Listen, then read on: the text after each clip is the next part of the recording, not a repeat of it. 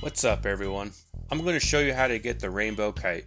First, you need to be at the summer beach party going on at Lumbridge Crater that is located west of Lumby Castle.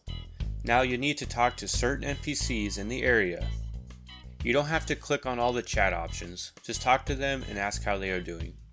You'll need to talk to Reyna, who's located to the east on the stage.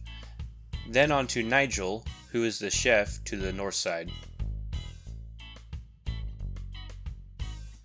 Then Palmer, who is located to the west.